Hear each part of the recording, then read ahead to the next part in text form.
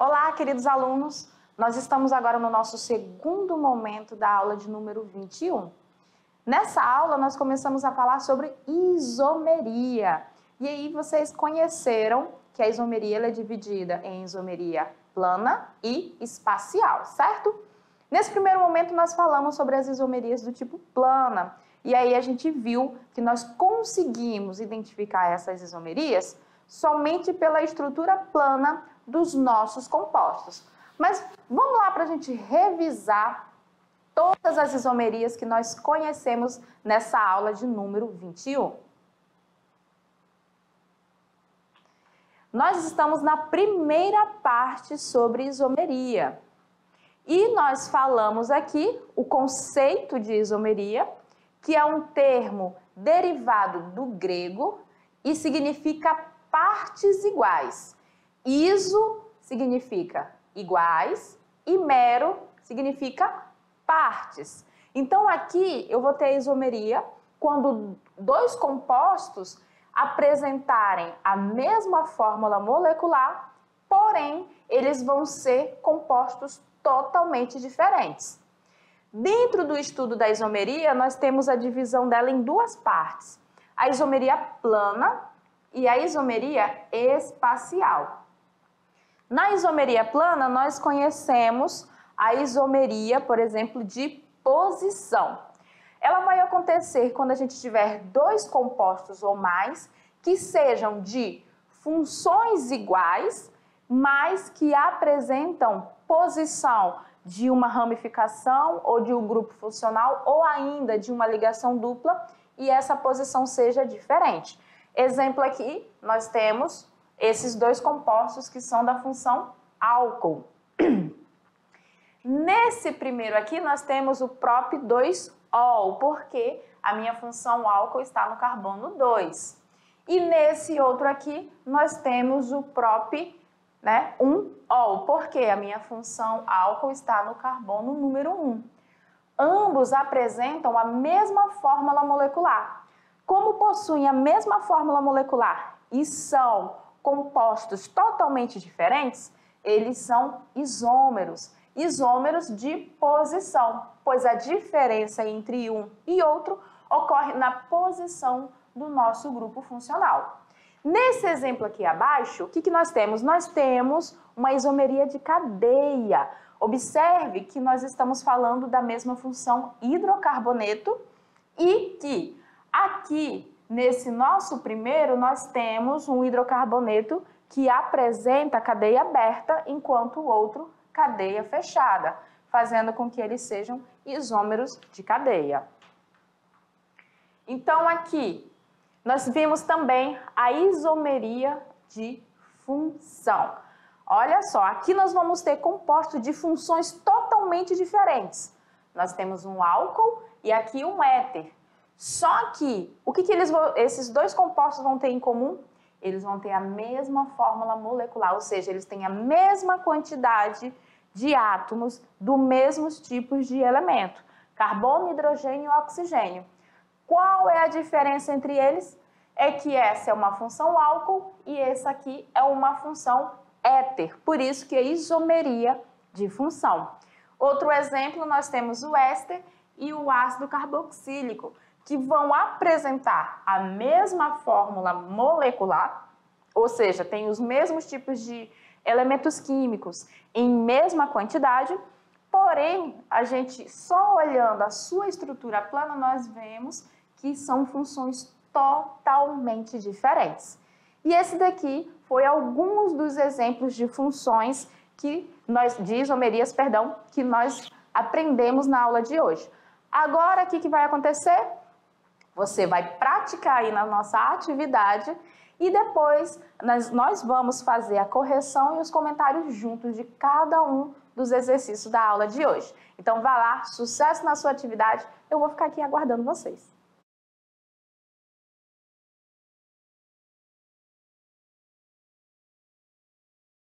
Oi, galerinha!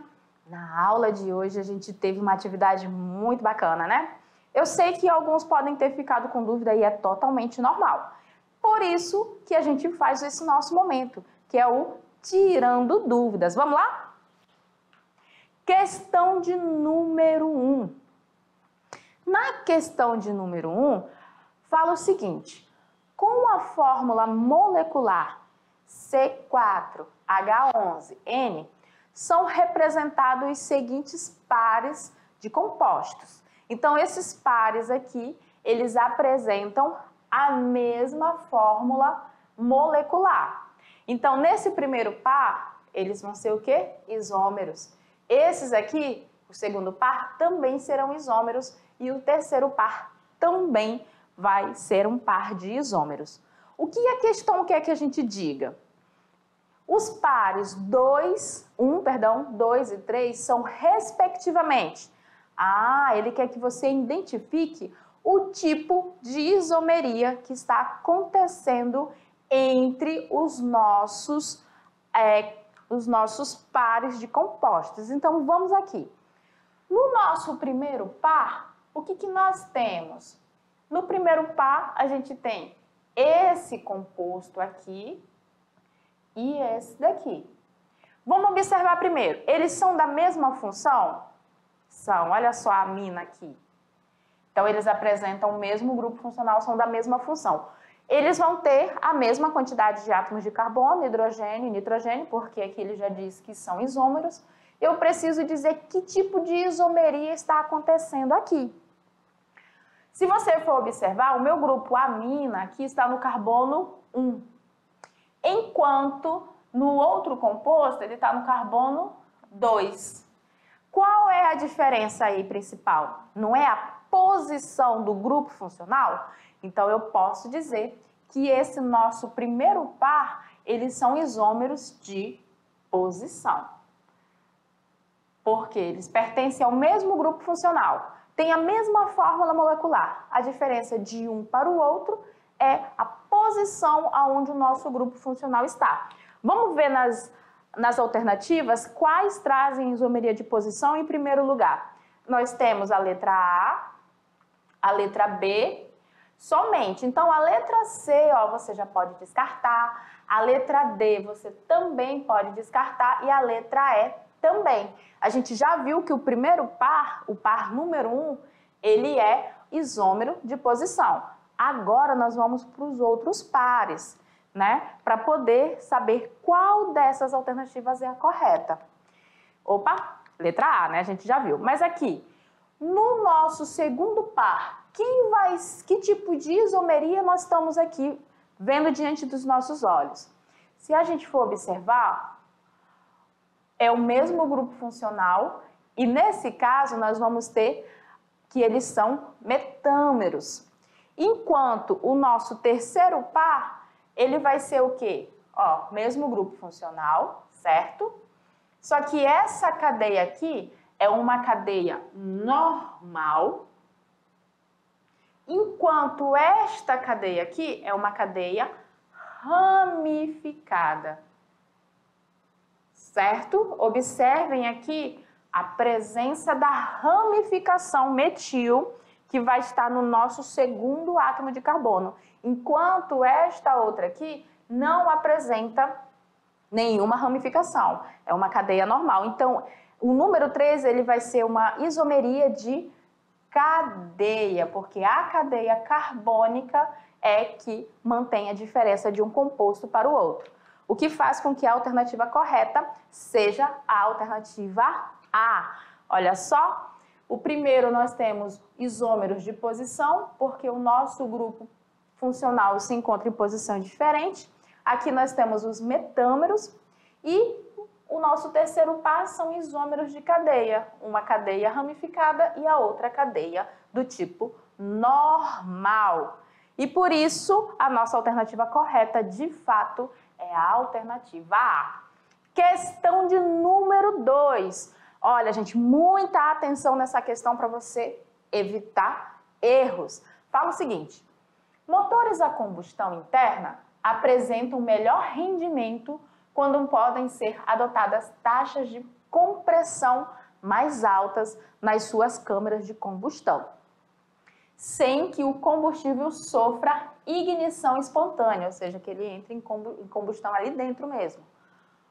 Combustíveis com maiores índices de resistência à compressão, ou seja, maior octagenagem, estão associados a compostos com cadeias carbônicas menores, com maior número de ramificações e com ramificações mais afastadas da extremidade da cadeia.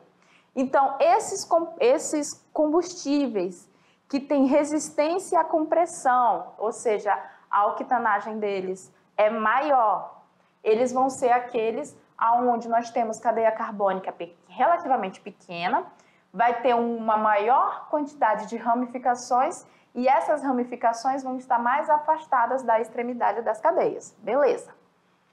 Adota-se como valor padrão de 100% de octanagem o isômero de quem? Do octano, mais resistente à compressão. Então, um isômero do octano, ele é mais resistente à compressão e é adotado como um padrão 100% de octaganagem, octaganagem. E aí ele vem, com base nas informações do texto, qual entre os isômeros seguintes seria esse composto? Então, para a gente resolver e saber direitinho, eu tenho que determinar qual é a fórmula molecular do octano. Oct significa que ele apresenta oito átomos de carbono, então eu vou ter C8, certo? Para saber quantos, quantos é, no caso, átomos de hidrogênio a gente vai ter, eu vou precisar utilizar a contagem de hidrogênios de acordo com o que nós vimos lá nas nossas aulas sobre alcanos. Eu vou dizer que a fórmula geral do alcano não vai ser CnH2n mais 2, se N é 8, 8 carbonos. Então, hidrogênios quanto vão ser? Vai ser 8 vezes 2 mais 2. 8 vezes 2 dá 16, com 2, 18. Então, esse cara vai ter 8 átomos de carbono e 18 átomos de hidrogênio. Ele quer que você diga qual desses isômeros do octano é o que está dentro do padrão de, de 100% de referência de octagenagem. Nesse caso, você vai seguir o que o texto falou cadeias carbônicas menores com maior número de ramificação e as ramificações mais longe das extremidades. Se a gente for olhar a letra A, ele fala N-butano. Quem é N-butano, galerinha? É o butano normal que a gente conhece. É o H3C, CH2, CH2, CH3. Ou seja, ele vai ser um composto que apresenta 4 átomos de carbono e 10 de hidrogênio. Ele nem isômero do octano é, então a letra A já está fora. Na letra B, ele traz para a gente o 2,4 de metilhexano. Quem vai ser esse cara, professora? Vamos fazer aqui. Ele vai ser um composto que apresenta seis carbonos na cadeia principal, 3, 4, 5, 6, certo? E ele vai ter ramificação no carbono 2, metil, e no carbono 4, metil. E o resto a gente vai ter quem? Hidrogênio. Hidrogênio, hidrogênio, hidrogênio. Opa, aqui não é dois não, aqui é só um. E hidrogênio. Se a gente for olhar a fórmula molecular deste cara aqui, vai ser C8H18, a mesma fórmula molecular do octano. Então, ele é um isômero de octano. E ele apresenta duas ramificações. Só que a cadeia carbônica dele é uma cadeia carbônica grande e fala que esse isômero ele tem uma cadeia carbônica pequena e muito ramificada. Então, a nossa alternativa B Tá fora também. Na alternativa C, eu vou ter uma cadeia grande também, ó, heptano, e vai ter uma ramificação. Na letra D, eu vou ter uma cadeia grande também, seis átomos de carbono e duas ramificações. Já a nossa alternativa aqui da letra E, eu vou ter uma cadeia menor, ó, cinco carbonos, e ela vai ter três ramificações. Ela vai estar tá mais dentro do padrão que a gente viu do que as demais alternativas. Eu vou ter o quê? Eu vou ter lá um, dois, três, quatro, cinco carbonos. No carbono 2, eu vou ter duas ramificações do tipo metil. Tá aqui, ó, 2,2. No carbono 4, eu vou ter uma ramificação do tipo metil. Tá aqui. E o resto é os nossos hidrogênios, certo? E se a gente for olhar, é uma cadeia menor e, ó, uma, duas, três ramificações mais ramificada. Por isso a alternativa que compreende, está dentro do padrão da exigência lá do enunciado é a letra E. Então, se a gente for ver aqui, os isômeros de cadeia citados no texto apresentam a mesma fórmula molecular, C8H18, que é o octano, e C8H18, que é o 2,2,4 trimetilpentano. Então, aqui nós temos o octano e nós temos seu isômero, que é um isômero de cadeia pequena, muito ramificado e que está dentro do padrão para ser o nosso 100% de octanagem. E agora a nossa questão de número 3, o se liga no Enem. Na questão de número 3, traz o seguinte para gente. Na tentativa de conter o tráfico de drogas, a Polícia Federal passou a controlar a aquisição de solventes com elevado grau de pureza, como, por exemplo, o éter, que nós conhecemos como etox-etano, e a acetona do tipo propanona. Hoje, mesmo as universidades só adquirem esses produtos com a devida autorização daquele órgão, né? no caso da Polícia Federal. A alternativa que apresenta, respectivamente, isômeros funcionais dessa substância é, então ele quer o isômero do etoxetano. Quem é o etoxetano? É esse cara aqui, ó, aonde nós temos dos dois lados do nosso carbono o grupo etano. E ele quer o isômero da propanona. Quem é a propanona? Prop são três carbonos, então é a nossa menor cetona que nós temos. É essa daqui. Para conhecer os isômeros dele, eu preciso conhecer a fórmula molecular de cada um. Do nosso etoxetano vai ser C4 H10O. E da nossa acetona vai ser C3H6O. Então, vamos lá ver nas alternativas quais são os isômeros respectivos desses dois compostos? Na letra A, ele traz o butanal. Quem é o butanal, gente?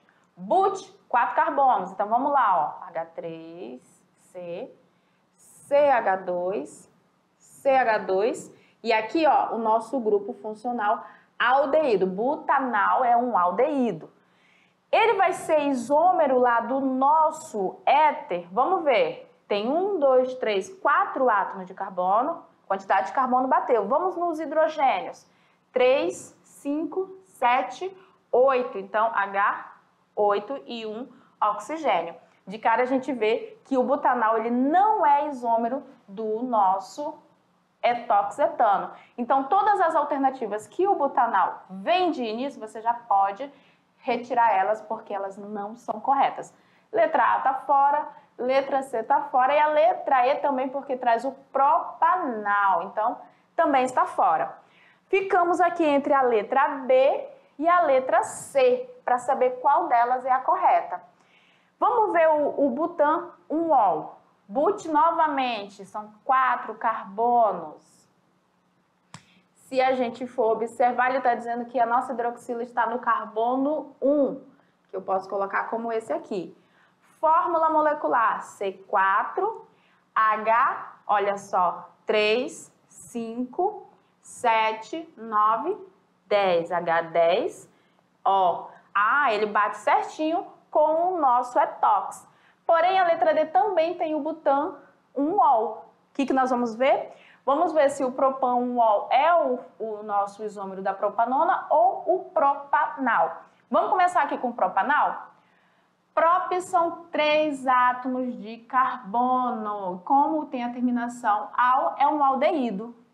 Ele tem três átomos de carbono, seis de hidrogênio e um oxigênio. Bate certinho com a nossa propanona, por isso que a letra B é a alternativa correta. Então, nós temos aqui o etoxetano e o seu isômero butan-1-ol, a propanona e o seu isômero, que é o propanal, todos representados aí pelas suas fórmulas molecular.